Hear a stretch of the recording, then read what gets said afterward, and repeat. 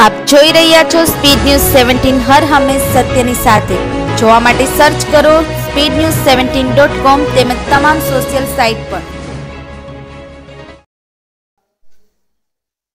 बुलंदशहर जनपद के खुर्जा जंक्शन पर पहुंचे आम आदमी पार्टी के विध्यापक कुलदीप सिंह ने बड़ा बयान देते हुए कहा कि उत्तर प्रदेश की जनता ने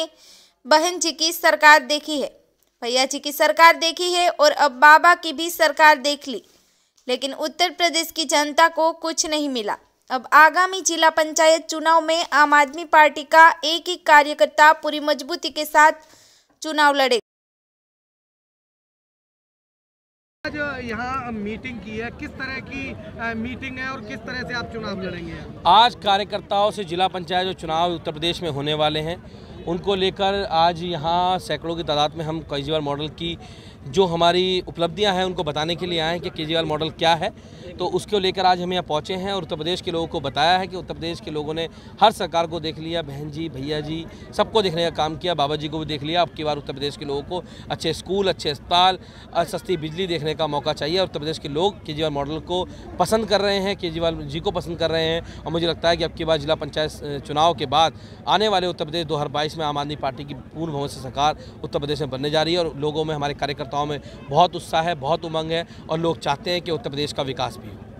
दिल्ली में किसानों के साथ अन्याय हो रहा है किसानों को खदेड़ा जा रहा है, क्या कहेंगे आप? इस देश में अंबानी और अंडानी की सरकार जो बैठी है, भाजपा की सरकार, ये किसानों की किसानी खत्म करना चाहती है, किसानों की खेती खत्म करना चाहती है, उनकी ज़मीनों को छीनकर अंबानी और अंडानी को देना चाहती है। ये तीन काले कानून का जिनका हम विरोध शुरू से करते आए हैं, कल जब पार्लियामेंट था तो संजय सिंह जी ने तब भी विरोध किया और उससे पहले जब पार्लियामेंट हुआ था जिसमें ये बिल पास हुए थे, माइक तोड़ कर विरोध दर्ज कराया और ये लोग इतनी नीच गिरी हरकत करने लगे कि किसानों के आंदोलन को ख़त्म करने के लिए भाजपा के विधायक और गुंडे वहाँ पहुँचने लगे और उसके बाद उनका बिजली, पानी तक वहाँ काट दिया गया। ये पुलिस के दम पे तानाशाही करके किसानों की आवाज़ को दबाना चाहती है, लेकिन मैं कहना चाहता हूँ कि किसान की आवाज़ दबेगी नहीं। जब तक तीन काले कानून वापसी नहीं होंगे, जब तक किसान अपनी मांगों पर अड़े रहेंगे और आम आदमी पार्टी उनके साथ कंधे से कंधा मिलाकर आम आदमी पार्टी का एक कार्यकर्ता खड़ा रहेगा, जब तक किसानों को उनका हक, उनका अधिकार, ये तीन काले कानून वापस नहीं हो जाते। 2022 में